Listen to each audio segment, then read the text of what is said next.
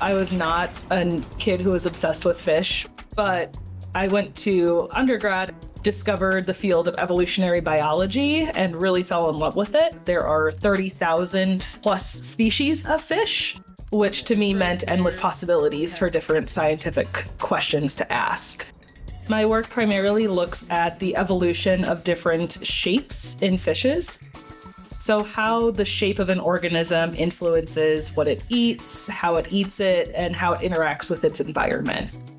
I'm hoping to study as I'm approaching the fall semester things called tubercles on our shiners and our minnows, our cyprinid species. The males will grow little keratin protrusions on their faces. There's some big questions about how they develop, where they show up on the face, and kind of why they're there at all.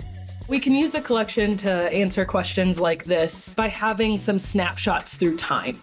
Can we tell if they're keeping them just for the breeding season? Can we tell if there are fish that have them in December when they might not be breeding? The collections play a huge role in how we tackle those questions. Uh, all of these organisms are interconnected. The walleye and the largemouth bass and the little tiny minnows that are living in the same lake, they're all living in the same environment. They're all just trying to survive and reproduce and make it to the next day.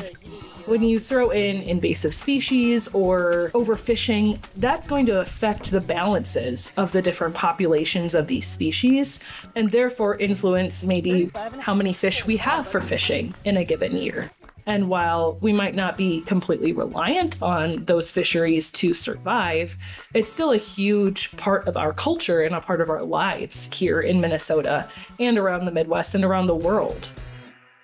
We're trying to show through the exhibits in the Bell Museum what's in the collections and how are they used, how is that showcasing the biodiversity in the state. Having somebody be able to look closely at a fish when it's not squirming and like trying to get away can really show them the beauty of these fish and get them a close look at all of the different features of the fish that might be important to its survival.